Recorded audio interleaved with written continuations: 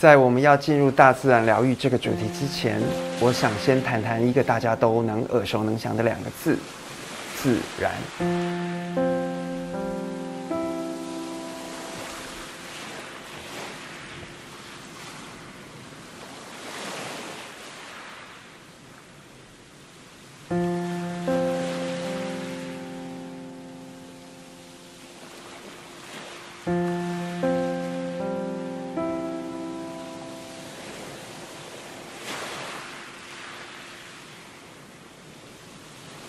什么是自然呢？每个人对自然的定义其实都不太一样。有些人在假日时到郊外踏青，在城市中做个假日农夫，他们觉得这就是自然了。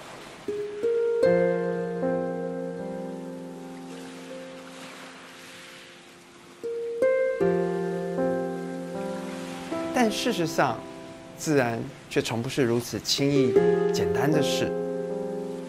从小到大，我们被教育自然是水源、空气以及食物的供给者。我们也知道，人类的社群一旦失去了自然，一切将无法运行。但自然就只是这样吗？若仔细观察自然，你会发现，自然需要有时间的酝酿、空间的孕育。生命彼此互相连结、共生共荣的状态，才能称得上自然。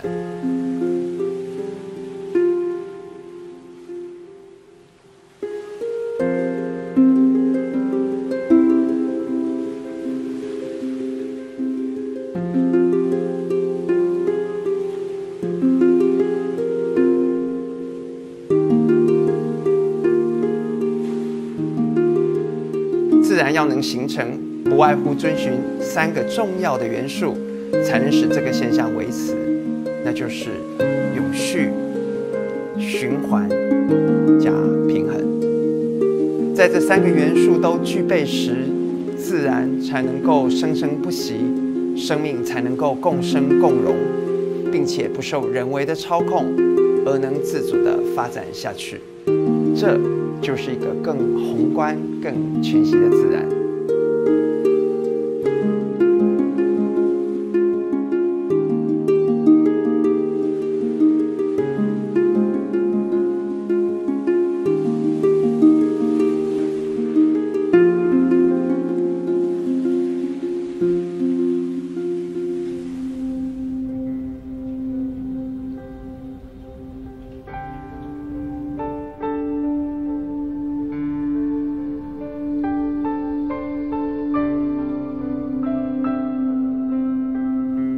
接下来，我们带着这样的观念，反观我们的生活：我们活得够自然吗？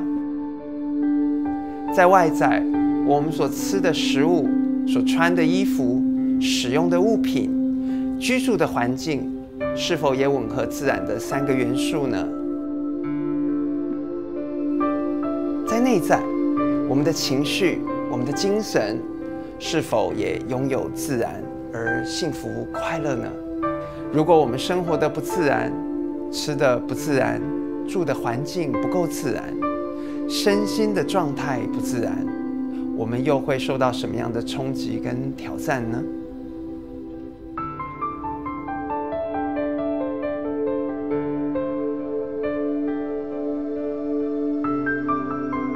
谈到这里，我们就得看看在都市生活中。得到便利跟富有之后，因远离了自然，我们所付出的代价，压力、焦虑、身体的亚健康状态、心理的抑郁问题，成了都市生活里的副作用。多少人在这个灰色的水泥丛林里迷失了自己，丢失了平静与快乐。在这样不自然的环境下，都市现代化快节奏的生活，使我们吃不到自然的食物，听不到自然的声音，见不到自然的色彩，吸不到自然的空气，甚至也感受不到自然的放松跟平静。我们成为了健康的滞后者，生活成了一场牺牲幸福与快乐的生存竞技场。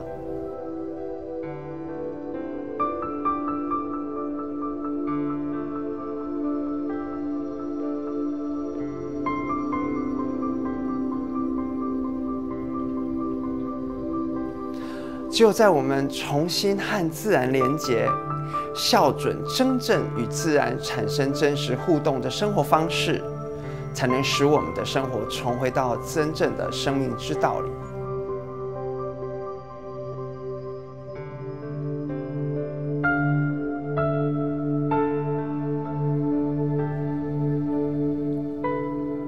大自然的疗愈课程，就是在这样的背景下，想带给所有的参与者。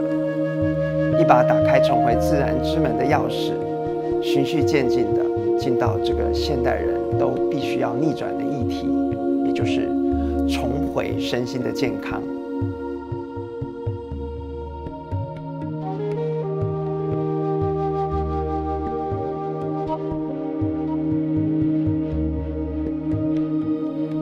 对我而言，大自然并不只是这样。你曾静心下来，好好欣赏一朵盛开美丽的花朵吗？一棵参天的古木，亦或是在海边因风化而斑驳的石头呢？以及世界各地独特美丽的地貌，如果仔细观察，你一定会发现，大自然其实是一个伟大的艺术家。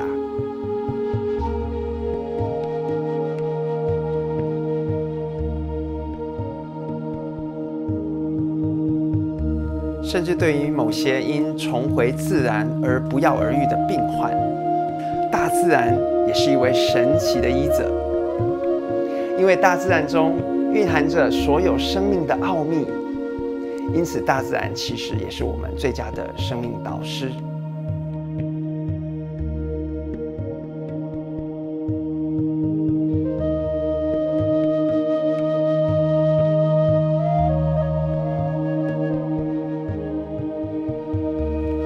认为，若能够用心倾听大自然的智慧，你会发现，大自然也是一个不可思议的哲学家。道法自然，正是大自然疗愈的核心信念。